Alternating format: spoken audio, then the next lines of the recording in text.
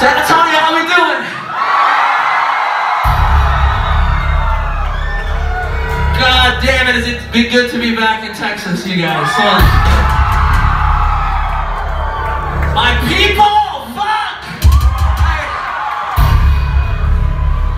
We played here so many times. This place was a lot different last time, but I appreciate